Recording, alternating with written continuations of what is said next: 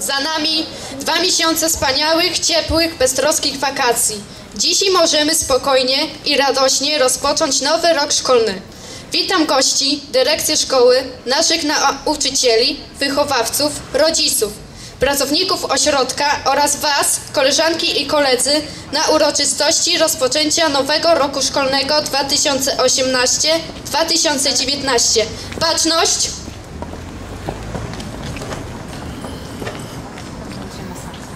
Poczyn sztandarowy wprowadzić.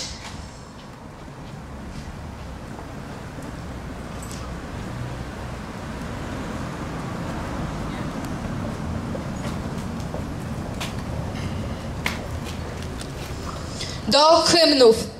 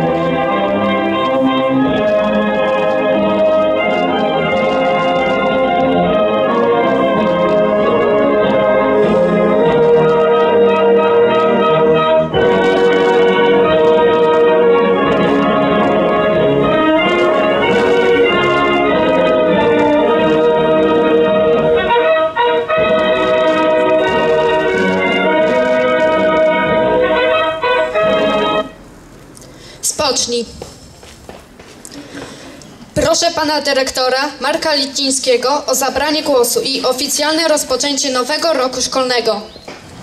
Na początku chciałbym bardzo gorąco powitać e, na naszej uroczystości pana starostę powiatu bartoszyckiego Wojciecha Prokockiego, jak również dyrektora powiatowego zespołu administracji oświaty w Bartoszycach pana Krzysztofa Karulewskiego. Zapraszam panowie, z przodu są wolne miejsca. Drogie dzieci, szanowni rodzice, nauczyciele, wychowawcy, pracownicy administracji i obsługi. W dniu dzisiejszym rozpoczynamy nowy rok szkolny 2018-19. Mam nadzieję, że wszyscy jesteście wypoczęci, chętni i gotowi do nauki i pracy. Ten rok szkolny będzie obfitował w wiele ważnych wydarzeń i uroczystości. Przed nami setna rocznica odzyskania przez Polskę niepodległości. Nasza szkoła, tak jak wiele innych szkół w całej Polsce, będzie brała udział w tej ważnej uroczystości. W październiku również mamy wielkie święto szkoły, dziesięciolecie nadania imienia i sztandaru szkole. Proszę pamiętać, że święto to nie jest świętem tylko dyrektora i nauczycieli, ale jest świętem całej społeczności szkolnej i uczniów, i rodziców, i wszystkich pracowników szkoły. Już dzisiaj, przez cały rok szkolny, wszyscy uczniowie branżowej szkoły pierwszego stopnia i zasadniczej szkoły zawodowej oraz nauczyciele zawodu i doradca zawodowy będą uczestniczyli w projekcie dofinansowanym ze środków Unii Europejskiej, dzięki któremu podwyższą swoje kwalifikacje zawodowe, odbędą kursy doskonalące, zawodowe staże w firmach budowlanych, stolarskich, staże w, w renomowanych restauracjach, w Starych Jabłonkach, w Zamku w Rynie, w Bajkowym Zakątku. E, Dzięki temu projektowi wyposażymy pracownie zawodowe e, w profesjonalny sprzęt. Całkowity koszt projektu to niespełna pół miliona złotych i prawie 100 tysięcy złotych to zakup pomocy dydaktycznych do e, szkoły branżowej pierwszego stopnia i zasadniczej szkoły zawodowej. Ten rok szkolny będzie też inny niż poprzednie pod względem struktury organizacyjnej szkoły, jak i nauki. W wyniku reformy edukacji po raz pierwszy w tym roku szkolnym e, powstaje klasa ósma i uczniowie będą się uczyli w klasie ósmej. W tym roku szkolnym będą też już egzaminy w klasie ósmej, e, ale to oznacza, że po raz ostatni mamy uczniów e, klasy trzeciej gimnazjum i uczniów klasy trzeciej zasadniczej szkoły zawodowej. Od przyszłego roku i gimnazjum i zasadnicza szkoła zawodowa przestaje funkcjonować w strukturach szkolnictwa. Już będzie tylko ośmioletnia szkoła podstawowa i szkoła branżowa pierwszego stopnia. W tym roku szkolnym uczniowie naszego ośrodka będą uczyli się łącznie w 20 oddziałach klasowych i zespołach edukacyjno-terapeutycznych, trzech oddziałach rewalidacyjno-wychowawczych, jednym oddziale wczesnego wspomagania rozwoju dziecka, jednym oddziale przedszkolnym. Bardzo gorąco chciałbym powitać nowych uczniów w naszych klasach najmłodszych i poproszę ich, żeby się tutaj zaprezentowali przed Państwem. E, Z klasy 1-3 pani Joanny Jowarskiej, Karola Ziemnoczka, Mate- Mateusza Nowack i Piotra Siwka. Zapraszam tutaj, jeżeli są, żeby się pokazali. Klasie pierwszej zespołu edukacyjno-terapeutycznego pani Ewy Kowalskiej, Grzegorza Gołębiewskiego, Marcina Kowalika i Jakuba Skiersia. I w klasie pierwszej ze, zespołu edukacyjno-terapeutycznego pani Żanety Bagińskiej, Krzysztofa Krajewskiego. Uczniowie są jeszcze, widzę, nieśmiali i niechętni, żeby wyjść i się pokazać, ale pewnie na koniec roku to już tutaj wystąpią. Witamy również w gronie przedszkolaków nowego naszego przedszkolatka Tomka Wojtkiewicza. Rok szkolny 2018-19 to również zmiany kadrowe. Witam gorąco w naszym ośrodku nowych nauczycieli. Panią Ewelinę Rzodkiewicz, nauczyciela w oddziale rewalidacyjno-wychowawczym. Proszę się pokazać, Pani Ewelino. I Panią Martę Mojak, nauczyciela świetlicy szkolnej i terapeutę biofeedback.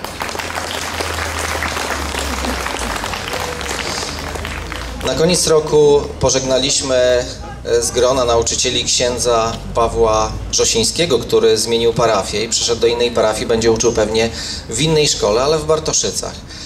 E, Nadszedł taki czas, że dzisiaj żegnamy naszą koleżankę, panią wicedyrektor Ewę Rodziewicz, która przepracowała w ośrodku 20 lat równo i od 1 września przechodzi do nowej pracy, niedaleko, bo przechodzi do e, Powiatowego Centrum Rozwoju Edukacji i będzie pełniła tam funkcję dyrektora tego centrum. Pani Ewo, zapraszam tutaj, bo chcielibyśmy teraz e, Panią pożegnać i odczytam e, słowa e, Rady Pedagogicznej całej społeczności szkolnej, które zostały skierowane i napisane do Pani właśnie na ten dzień. Zapraszam. Zapraszam również Panię Wicedyrektor Alicję i Panią Beatę Słowiczkowską i przedstawicieli grona pedagogicznego, przedstawiciela. czy przedstawiciela, czy przedstawicieli. Poproszę. Panowie, bo jest ciężki prezent. To idzie.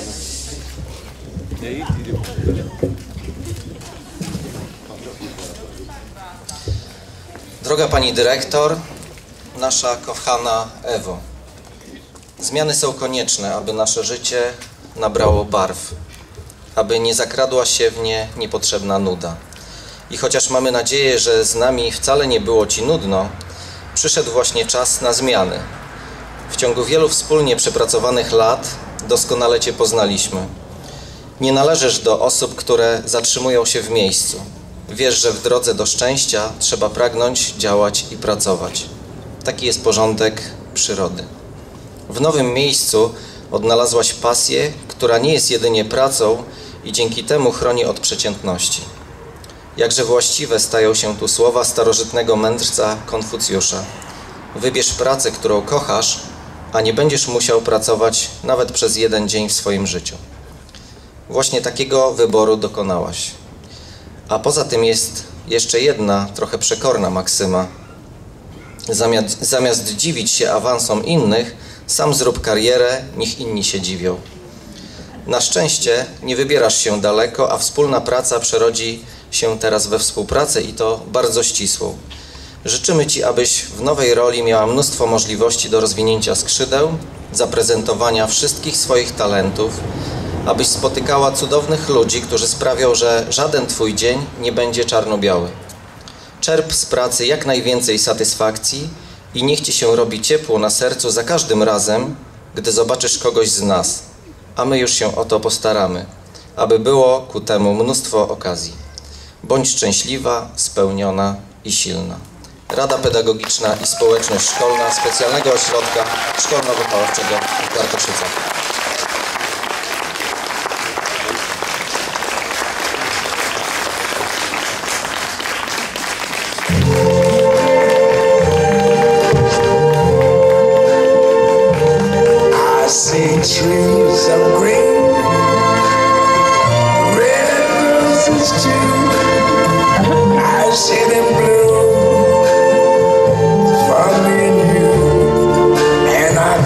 To myself, what a wonderful world.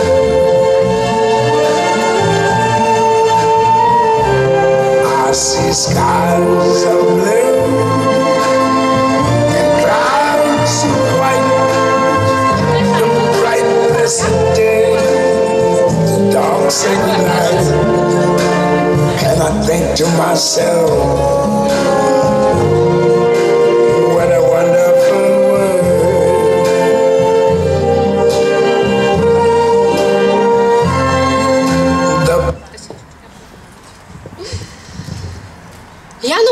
powiedział: Dziecko chce być dobre. Jeśli nie umie, naucz. Jeśli nie wie, wytłumacz. Jeśli nie może, pomóż. Szanowna Pani Dyrektor, w imieniu samorządu uczniowskiego oraz wszystkich uczniów i absolwentów ośrodka z całego serca dziękuję za tę naukę, cierpliwość i pomoc w rozwiązywaniu naszych małych i dużych problemów. Przy zwyciężaniu przeszkód i codziennych zmaganiach dziękujemy za ciepły, serdeczny uśmiech, za dumę z naszych sukcesów, za szacunek, którym obdarzała nas Pani bez wyjątku. Życzymy Pani wszystkiego dobrego i wielu sukcesów w przyszłości. Prosimy o nas zawsze pamiętać.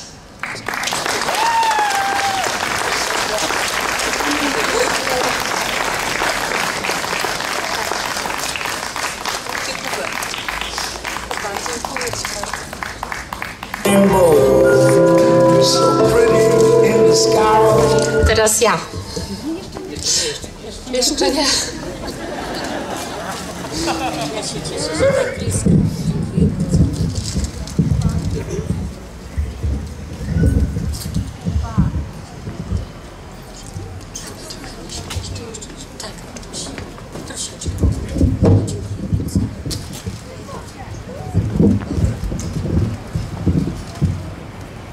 Droga Pani Ewo, niezmiernie się cieszę, że to mi przypadło powiedzieć kilka słów.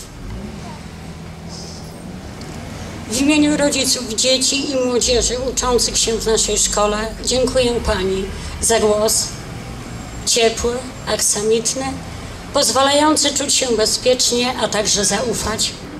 Za oczy piękne, pełne ciepła i dobra, które wyrażają Pani wartość za dużą kulturę osobistą, ogromną wrażliwość na drugiego człowieka, takt, za opanowanie, za wszystkie rozmowy, spotkania na korytarzach, w świetlicy, za rady, otwartość na nas rodziców, na nasze podpowiedzi, że zawsze mogliśmy na Panią liczyć.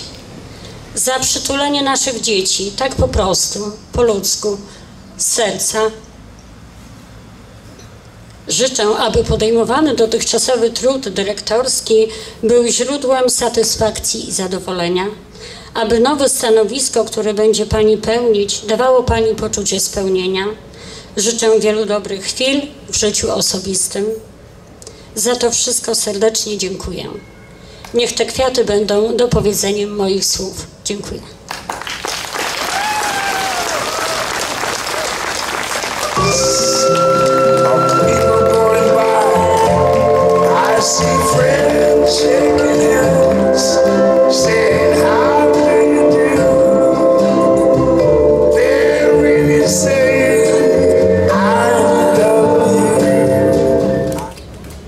Jak to w jest czas powitań i czas pożegnań.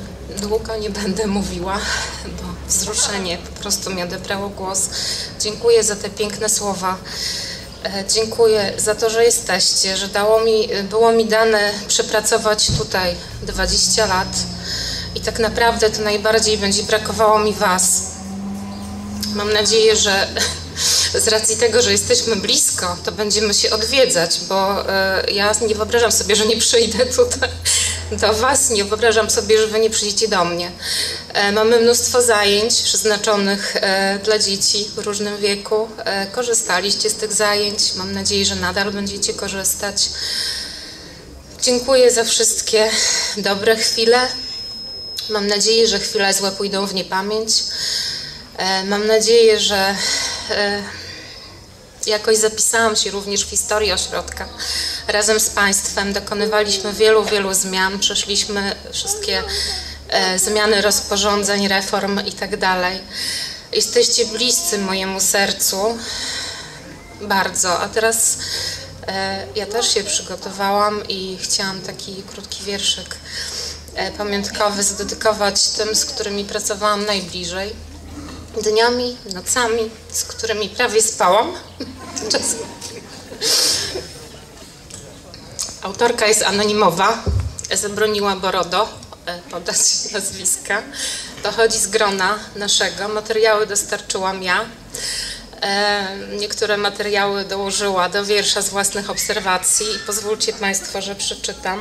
Chciałabym, żebyście mieli taką pamiątkę po mnie. Nie. To jest wiersz. Gdy Marecki zawładnął ośrodkiem 12 lat temu, wszyscy skierowali oczy ku niemu. Bał się samemu dyrektorzyć, więc trójce postanowił założyć. Marecki, Agatka i Ewa, jak trzy różne drzewa. On mietkiem folkiem zachwycony, przy włoskich przebojach nigdy nie zmęczony. Siedzi w gabinecie za biurkiem, w koszuli odstrojony, pod okiem swojej pięknej żony. Agatka, szalony pracuś, co innym spać nie daje. Chętnie by w internacie zamieszkała, lecz Andrzejek na to nie przystaje. Andrzejek to mąż. Agatka dobra rada, przy niej leżeć nie wypada, choć sama na plaży plackiem leży, elegancka jak należy. No i teraz ja. Do kompletu Ewę wzięli i tak trójkę swą zamknęli. Ewa dusza spokojna, choć czasem była z nią wojna. O ludzi, o zespoły, o zastępstwa, dyżur nieodpowiednio pełniony. Każdy błąd w hospitacji musiał być omówiony. Razem długie godziny przebywali, na szkoleniach bliżej się poznawali, projekty organizacyjne pisali, no i dodatki motywacyjne razem przydzielali. Dużo razem przeżyli, donosy, kontrole, raz w górze, raz na dole. Śmiechu nieraz było co niemiara, czasem i płaczu przelała się czara. Choć ta trójca rozwód dziś bierze, będę tęsknić za wami szczerze. Było mi niezmiernie miło, dzięki Wam wiele mi się przytrafiło. Dziękuję za cierpliwość i zrozumienie, na moje emocje, co przychodziły na palca skinienie. Dziękuję za rozmowy długie i rady, tolerowanie zalet i każdej wady. Choć dziś łezka w oku się kręci, piękne wspomnienia z Wami pozostawiam w swej pamięci. Wykonanie własne, mam nadzieję, że zawiśnie na ścianie.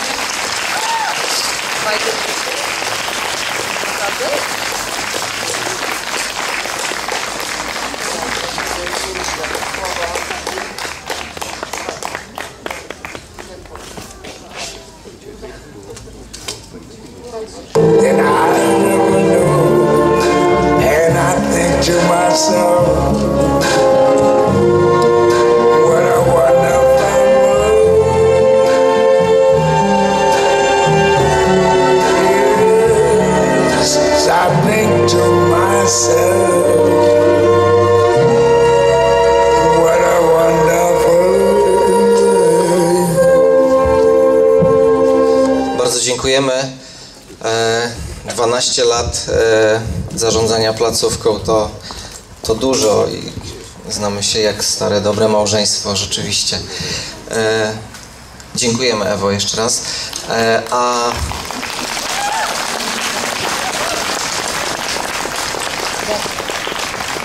na kartach historii na pewno się zapisałaś dużymi literami. Chciałbym również powitać nową osobę na miejscu wicedyrektora, panią Beatę Słowikowską.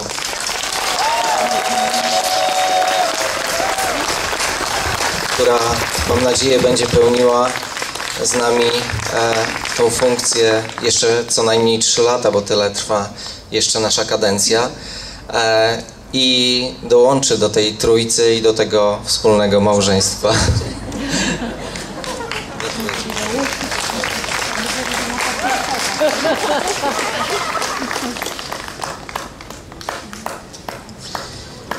No cóż, e, na koniec e, chciałbym życzyć wszystkim uczniom w nowym roku szkolnym e, samych sukcesów edukacyjnych na szczeblach też artystycznych, sportowych, na szczeblach powiatowych, wojewódzkim, wojewódzkich. Rodzicom życzyć satysfakcji z osiągnięć Waszych uczniów, Waszych pociech, a nauczycielom mnóstwo cierpliwości, wyrozumiałości i ciepła, którym na co dzień ogarniacie e, Wasze pociechy, Waszych uczniów i wychowanków.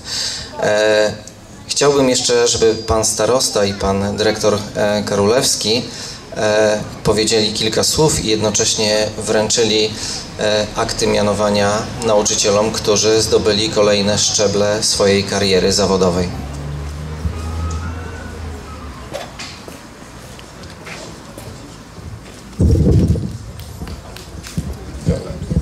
Nie robić hałasu. Króciutko, bo już widzę, że dzieci i młodzież są pewnie zmęczone. Bardzo się cieszę, że udało mi się jeszcze zdążyć na rozpoczęcie roku szkolnego w naszej ukochanej szkole, w naszym ośrodku. Noszę go zawsze w swoim sercu, bo przed wielu, wielu lat, w latach 90. pracowałem tu i jeszcze niektórych kolegów i koleżanki z grona pamiętam. Szkoła się rozwinęła, rodzice chętnie tutaj przekazują na wychowanie, na kształcenie swoje dzieci i z pewnością nikt tego nie żałuje. Włącznie ze mną, bo przecież wiecie, że mój Mati też tu chodzi. Chciałbym wszystkim uczniom życzyć, żeby się rozwijały, żeby tutaj w szkole spokojnie i bezpiecznie spędzały swój czas i korzystały z wszystkich udogodnień, jakie szkoła i ośrodek dla swojej młodzieży ma. I tu w budynku, w którym się, przy którym się znajdujemy, i w internacie. A chciałbym przy tej okazji y, też podziękować za współpracę z panią Ewą i pogratulować. Została w pełni zasłużenie dyrektorem wieloletniej placówki, już choć nazwa jest trudna, Powiatowe Centrum Rozwoju Edukacji, ale myślę, że dzieci i nauczyciele oraz rodzice będą często korzystać z pracy Powiatowego Centrum Rozwoju Edukacji, bowiem ta placówka znajduje się w budynku internatu i z pewnością kto będzie chciał porozmawiać, spotkać się z panią Ewą, a jest to osoba kontaktowa i bardzo życzliwa, niewątpliwie będzie mógł z tego skorzystać. Życzę spokojnego, dobrego nowego roku, a pani Beatce, która jest doświadczoną i rasową nauczycielką i wychowawczynią, z pewnością nie ma obaw, że sobie nie poradzi. Myślę, że z nowym dynamizmem zabierze się do nowych obowiązków i myślę, że nie ma taryfy ulgowej, pani Beato. Trzeba naprawdę spełnić te wszystkie zadania, które przed panią y, stoją i czekają. Dziękuję i wszystkiego dobrego na nowy rok szkolny.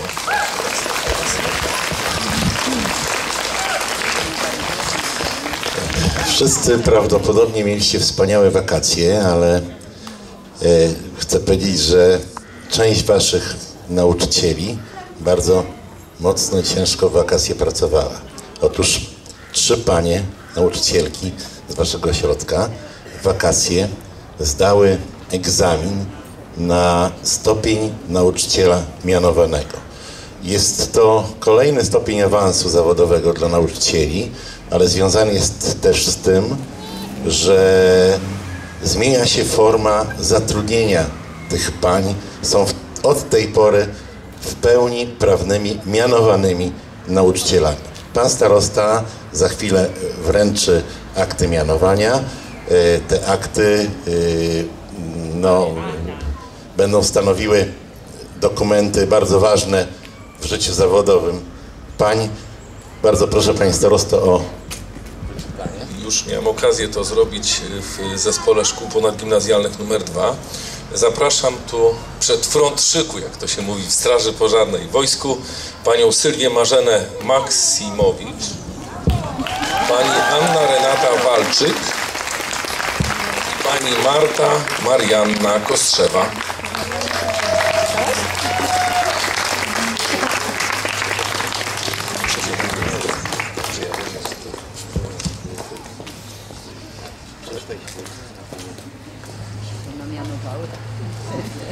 Czeka jeszcze na Panie y, tekst ślubowania, żeby uzyskać ten pełen awans zawodowy, no i małą podwyżkę, choć może taką skromniutką, ale zawsze. Y, Trzeba złożyć ślubowanie, ono może być zakończone zwrotem tak mi dopomóż Bóg. Ja będę odczytywał Panie, będą powtarzały i w ten sposób po złożeniu podpisu otrzymujecie ten awans, tak zwane skwitowanie już będzie. Proszę o powstanie tutaj z tych ławeczek. Tekst ślubowania. Ślubuję rzetelnie pełnić mą powinność nauczyciela wychowawcy.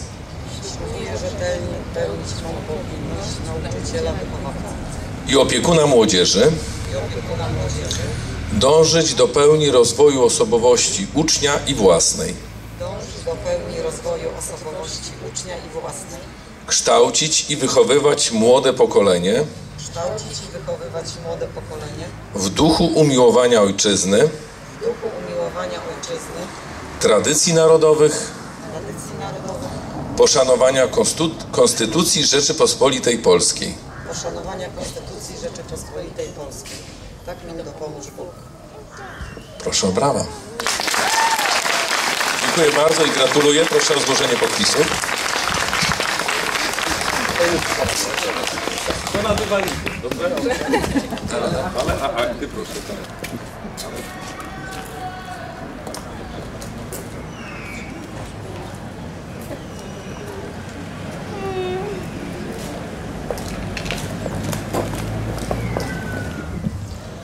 Uroczystość rozpoczęcia roku szkolnego dobiegła końca. Baczność! Wozy sztandarowy wyprowadzić. Spocznij. Zapraszam do klas na spotkanie z wychowawcami.